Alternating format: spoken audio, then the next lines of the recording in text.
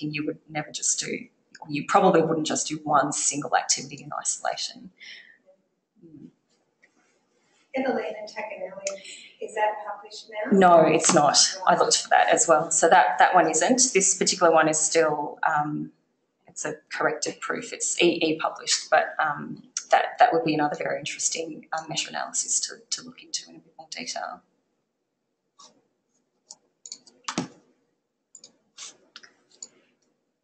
Okay, Thanks, Thank Caroline. thank you. That's yours there, Thomas. My favourite topic, Tom. Is it? Oh, good. It's my favourite. friends about microbiomes.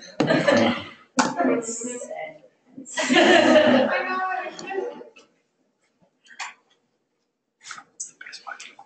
Just uh, uh, click on Yeah, just those, the arrows there.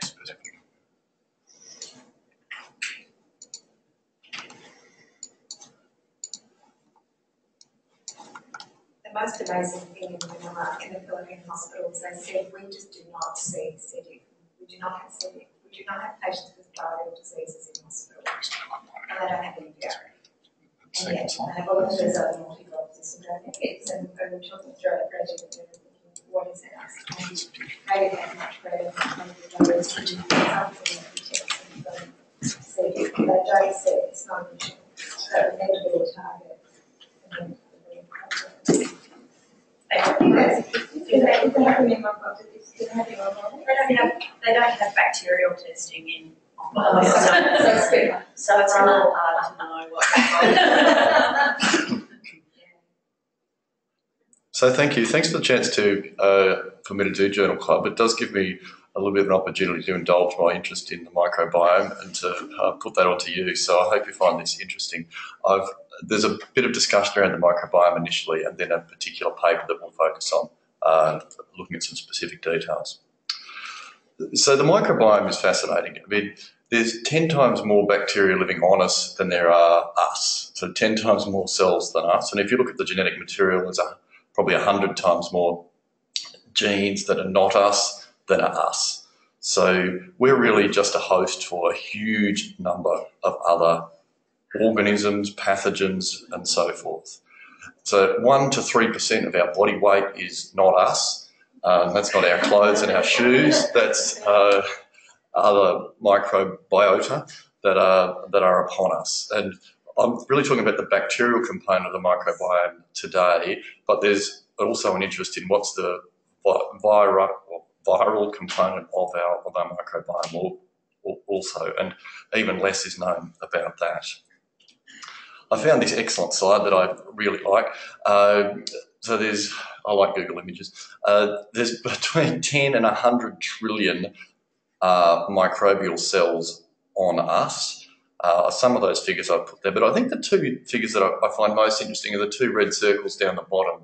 If you look at between two people, our genetic material is 99.9% similar from one person to another. But if you look at our microbiota, it's between 80 and 90% different from, uh, from person to person. Even if you look at monozygotic twins, the microbiota is about 50% different from uh, one twin to another. So there's a huge variability in uh, the organisms that are on us. What does that mean? That's the much more tricky part. There's all sorts of associations with differences in the microbiome, and I'll talk a little bit about how we look at the microbiome in a minute, but all sorts of fascinating associations. And really, if you put microbiome in, you know, there's nearly a paper on every, every possible condition in medicine. Obesity, I find fascinating, particularly the interesting work that if you take the microbiome from fat mice and put it into thin mice, they become fat. And if you take the microbiome from thin mice and put it into fat mice, uh, they become thin.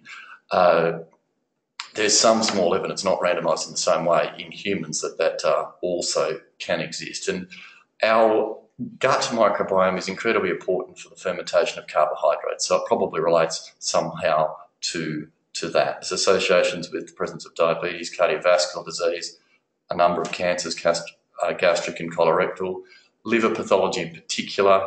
Most of the, circul- the portal circulation, most of the blood circulation to the liver comes straight from the gut. uh, allergy, celiac disease, you know, a list goes on there. And really, uh, that was a summary of the potential list. And if you look through the literature, you could put another 10 or 15 conditions on that list quite easily where there's associations. So something in the microbiome is associated with some clinical outcome. Directionality and causality is much less well identified. I think, however, there is some evidence around causality, and this is really the classic example of that. And we know that with recurrent C. difficile, uh, there's evidence for the use of fecal microbiota transplant. So getting a donor, taking their poo, putting it into the person who's got recurrent C. diff, and uh, you get good clinical outcomes. And this was a paper in New England from a few years ago looking at people with recurrent C. diff. And the, two tall bars are those, so they had an 81% recurrence with their first infusion of donor poo. And if you used a subsequent infusion, if the first one didn't work, you could get it up to 93% compared to continuing on with your oral vancomycin and you're getting really very low cure rates there. So this trial was stopped early. There's been multiple other trials uh, looking at this. There's a lot of uncertainty around what's the best way to give this. Should you give it orally, nasogastrically, nasoduodenally, colorectally? Uh, and how much should you give? Should you get the feces from a bank of donors? Should you get it from a close relative? Should you get it from a young, healthy person? Who should you include? Who should you exclude? Uh, and I think where that will go is a preformed poo pill, and there's also recent studies on preformed poo pills that you take that have got good clinical outcomes in terms of treatment of C. diff, but also there's some treatment evidence in terms of inflammatory bowel disease and some other conditions as well, so improved outcomes. And I find it fascinating because really you're, you know, we've talked earlier on how many kilos equivalent you have of microbiome in your gut, and the infusions are often only 50 grams or 100 grams. So by weight, a very small component, however, it has a major change in altering your microbiome. There's a lot of we don't really know whys in that.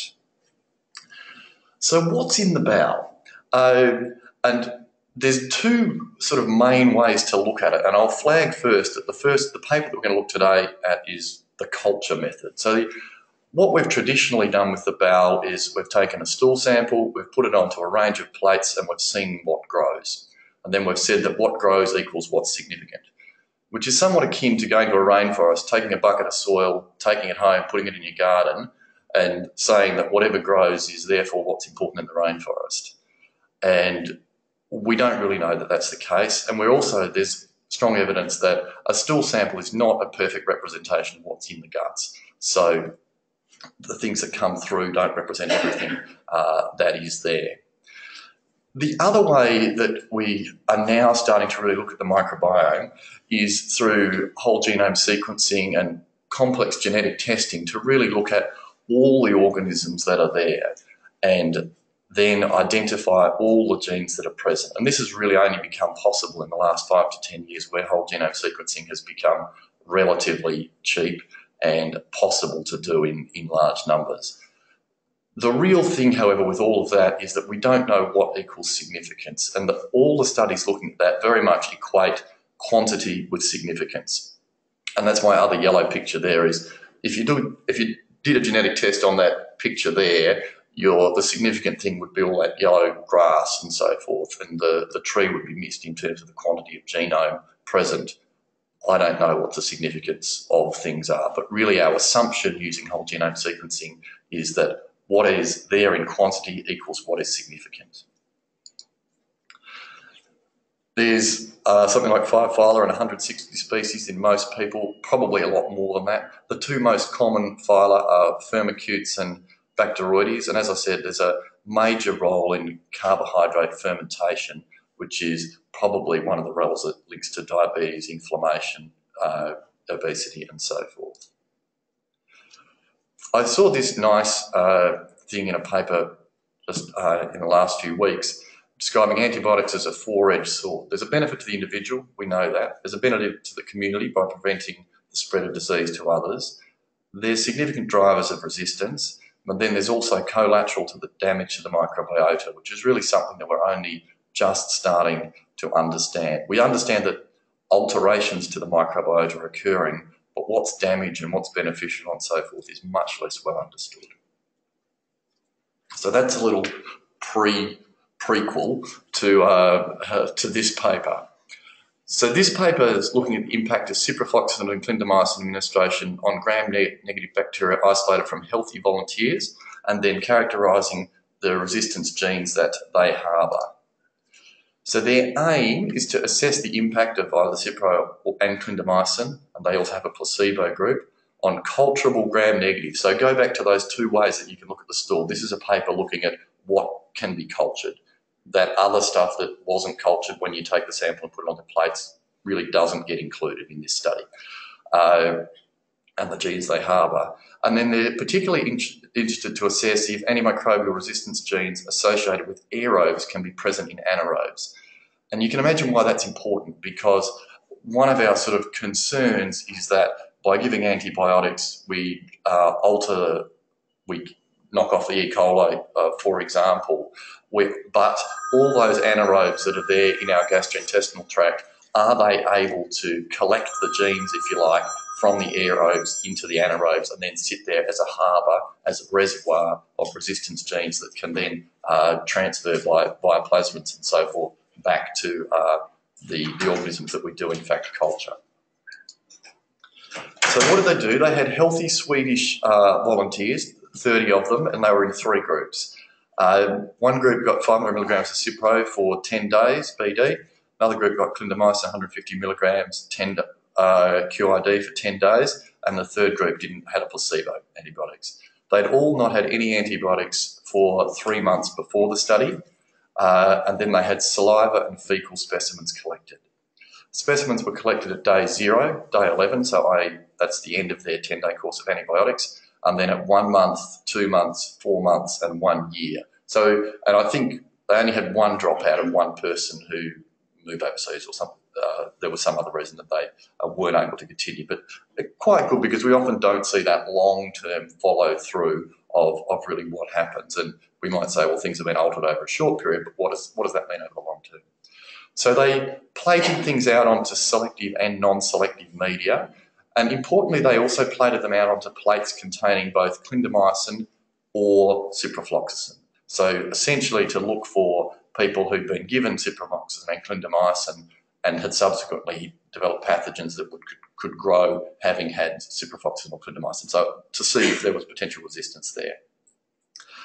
If bacteria grew on the anti, on the plates with the antibiotics in, so either the Cipro or the Clinda, they were screened for antimicrobial resistance genes by uh, a microarray. So that's when you have a cassette, I guess, with a whole range of uh, probes for a whole range of known genes associated with resistance. Then you take a small sample of whatever's cultured, you blend it up, for want of a particular word, put it in with your probes and see what attaches to your probes. And then you use a fluorescent probe or something to know how much is attaching to uh, those particular genes that you've identified. So you're not looking for any genes, you're only looking for the genes that are on your microarray plate it's not a test, it's not a whole genome sequence where you have the whole genome. You've only got whatever's on your plate that you're, you're actually looking for. They also did on the cultures that grew on the clindamycin or cipro plates a MALDI-TOF, which is a, a, rapid assessment of which bacteria is present, and then a VITEK, which is a testing modality to assess the sensitivity of those organisms. They did some pulse field gel, gel electrophoresis, pulse pulsed field gel electrophoresis on 18 isolates. I won't go into to that. So what did they find? So I'll go, go through these graphs individually. So the first one is E. coli, so uh, graph A there. And what you see is that there's no real change in the group given clindamycin, as we would expect. We know that clindamycin doesn't usually kill E. coli. There's no real change in group from placebo, but the group given ciprofloxacin has a significant drop as we would expect, uh, after they were given the ciprofloxacin. But then the E. coli comes back up over a period, and by about two months, is back to about the level that it was prior to, to giving the antibiotics.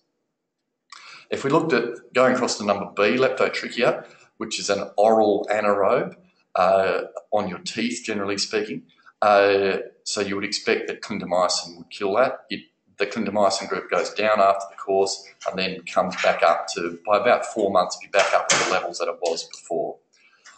Veillonella, which is a, again, an anaerobe, but more of a gut anaerobe than a mouth anaerobe, uh, no real changes in uh, concentration in saliva.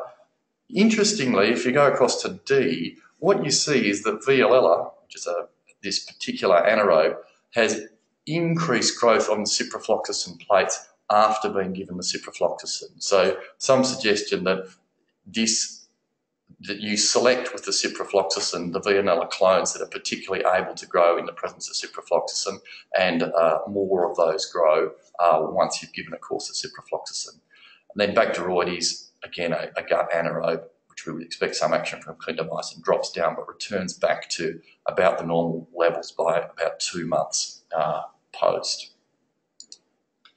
So what were the key findings? After Cipro, we saw a decrease in E. coli, as we would expect.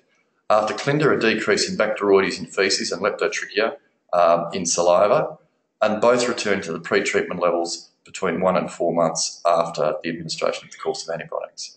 Interestingly, after the ciprofloxacin, there was an increased Veillonella, so select, suggesting a selection of Veillonella clonal isolates that are able to be resistant to ciprofloxacin. So then from the isolates that grew on the either Cipro or Clinda plates, they uh, looked at uh, both initially aerobic species. So this is just aerobes for the moment. So if you look at uh, table S3, and really it was E. coli was far and away uh, the most common organism uh, that was grown there. And uh, just if you can see on that other, probably there's not a lot of additional information in uh, the, the table on the right as you look at it, but showing that in both the Cipro group, the Clindo group, and the placebo group, they didn't really identify aerobes in the saliva, but they had aerobes and anaerobes in the feces and anaerobes in the saliva on, uh, on the culture plates. Antimicrobial resistance genes were detected in fecal aerobic isolates. So this is essentially within the E. coli, Interestingly, there wasn't an association in the presence of these antimicrobial resistance genes with the administration of antibiotics, suggesting that amongst healthy Swedish volunteers, and we you know, think of the Swedes as pretty good users of um, antibiotics, uh, there's a high rates of the presence of antimicrobial resistance genes, the most common being, I won't go through them uh, one by one, uh, but if you looked at the presence of at least one antimicrobial resistance gene, about two thirds of isolates had the presence of at least one antimicrobial resistance gene, and some the, the, percentage of isolates of particular genes was uh, heading for 40% um, in some cases. Now, if we look at the percentage of saliva and fecal anaerobes that were positive for antimicrobial resistance genes by microarray, uh, and so with these are a different set of genes that they were looking for in anaerobes largely. Not uh, some of the ones were also looking for in the aerobes were in the anaerobes. There was I've sort of highlighted a few things, but you do see increased rates of resistant genes in the anaerobes in both the Cipro and Clinda administration genes. That's on the TET down there on the sort of first red circle. And in the feces also some increased uh, in some uh, beta-lactamase resistance uh, genes there in the groups that were given Cipro and clindamycin. Interestingly, to address their question of can resistance genes that are in aerobes be identified in anaerobes, they only identified one gene, which is the sul2. That's the one there uh, that I've put in green. And if uh, we go back, that was also on the previous list, I think. Second line. Second line uh, in uh, uh, in in the aerobes. So that was the only gene that was identified in the aerobes and also in the anaerobes. So there wasn't a high identification of resistance genes in the anaerobes uh, that were identified in the aerobes. So I guess whilst this is one paper that doesn't debunk that idea completely by, by any stretch, it doesn't really support that sort of thinking in, I guess I've had in my head that if we've got resistance genes present in what we can culture, does that necessarily mean that they're also just sort of hiding there in the things that we, we can't necessarily culture? Again, this is doesn't really address that question because the isolates that you've identified are initially done through culture. They're not done through whole genome sequencing. So you've only got that 1% or whatever it is you can culture, and you've said that within the aerobes and the anaerobes that you can culture, you don't have movement or association of negative of genes present in the aerobes and the anaerobes, but it still doesn't really address that question of what about all those other anaerobes that we're not able to, to culture here. So, um, in conclusion, resistance genes are widespread, even in healthy Swedish volunteers. If you'd asked me, you know, what were the presence of resistance genes, I would have said much less in that cohort.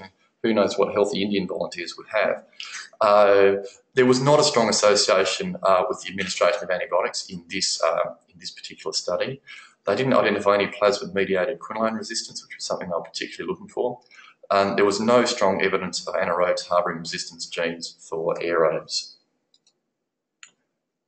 I did I do like Google Images. I found this fantastic flashing slide from the Human Microbiome Project, which I just thought I would leave up there uh, as a. But it's you know you can just read the flashing red lights. It's got the species. I, mean, I couldn't really fit it into the talk, but I just thought I should include it. Um, you can go back to that later if you like. Uh, and I think the whole microbiome really makes you think, well, we've had a mentality, probably as infectious diseases physicians, of really we go around with antibacterials and we kill antibody and we kill bacteria. But humans aren't sterile, and antibiotics don't make humans sterile. Uh, antibiotics affect selection pressure, and we don't really understand the impact of, uh, of what that selection pressure is. And Maybe over the course of our careers, we'll get a much greater understanding. But I think at the moment, it really heightens our thinking that we need to be cautious with the use of antibiotics because they do have this effect on selection pressure of, uh, of our microbiome. Thank you. I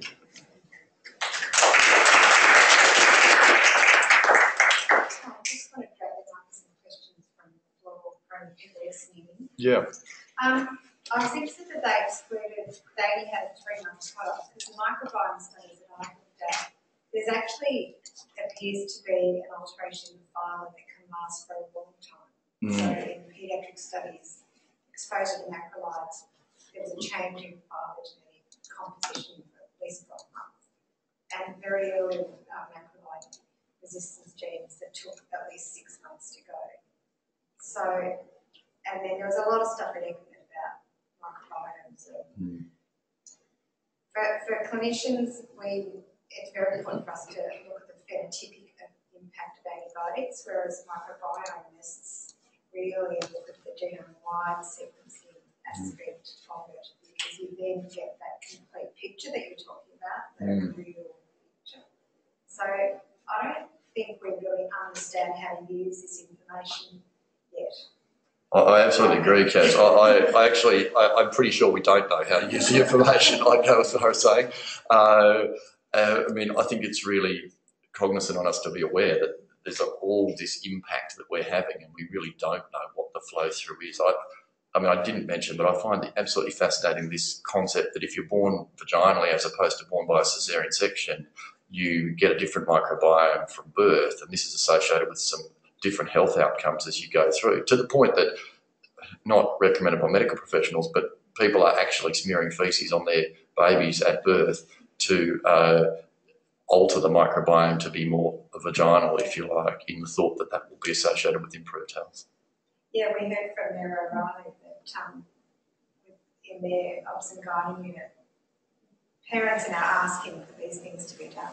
Mm, mm, yeah, and that's right. I mean, you think this is sort of you know way out there, but this is happening at the women's hospital. Well, it's not under the guidance of clinicians, but it's uh, you know occurring in a sort of ad hoc fashion. You know, we've often thought now with some of these messages about um, antibiotics in children obesity, um, antibiotics in colorectal cancer, um, microbiome appears to impact on neutrophil aging. There's so many flow-on effects that stewardship is no longer just going to be appropriateness for treatment of infections.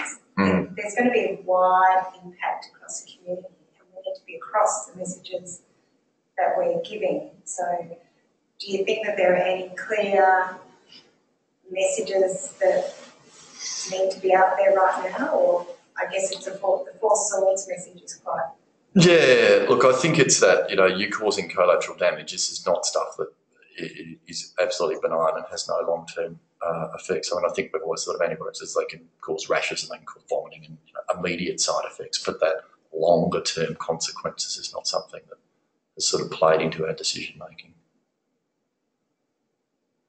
Tom, did they, they look at, it looks like a study that would be set up for looking at whether they were selecting for multi-resistant organisms. It doesn't, it doesn't sound like they did, they just looked for the prevalence of individual genes in all of those isolates rather than looking at whether you ended up with Yeah, that the pulse field gel electrophoresis was was trying to tease that out, and they didn't really have enough to. They had one resistant isolate, but that was actually there in in an initial.